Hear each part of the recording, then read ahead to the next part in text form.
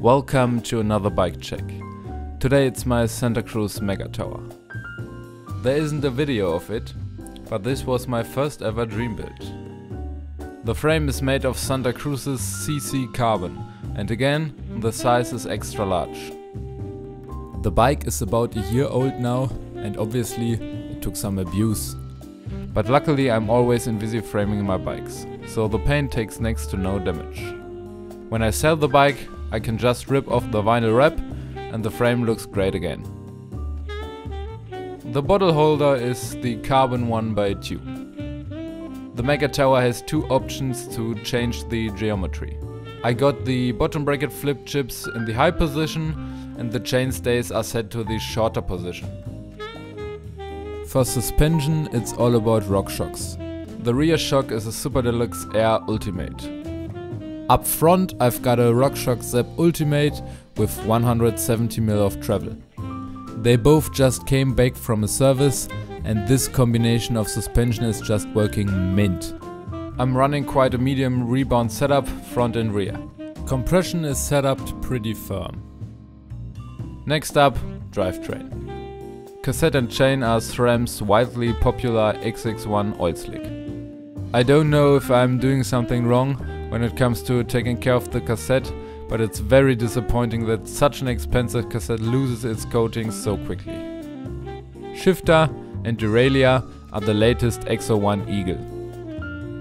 I've got some 170mm GX Eagle aluminum cranks paired with an absolute black oval 32 tooth chainring. And One-Up Components chain guide protects the chainring and keeps the chain in place pedals are just some normal Crank Brothers Stamp 7s.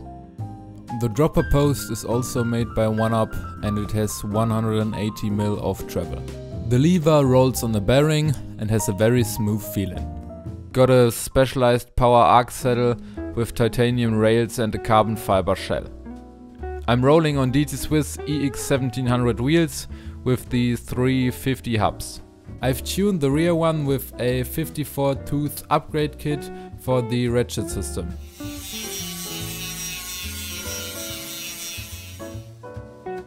Schwalbe rubber takes care of the grip. A Magic Mary and Super Trail casing up front and a Big Betty with Super Gravity casing on the back, both 2.4 inches wide and the soft rubber compound. No inserts, just tubeless with Peaty's valves. Steering is done by my beloved Renthal Apex stem in 40mm length and the Renthal Fatbar with a rise of 30mm and a width of 780mm. The headset is a Cane Creek Hellbender 70. Grips are ODI Elite Motion. Brakes are SRAM Code RSCs with Trickstuff Dechler Ultralight rotors and Trickstuff power pads. Gone for 203 mil front and rear for an equal brake feeling. This is my bike check all done. If I missed anything, let me know in the comment section down below. Feel free to like and subscribe and I will see you in the next video.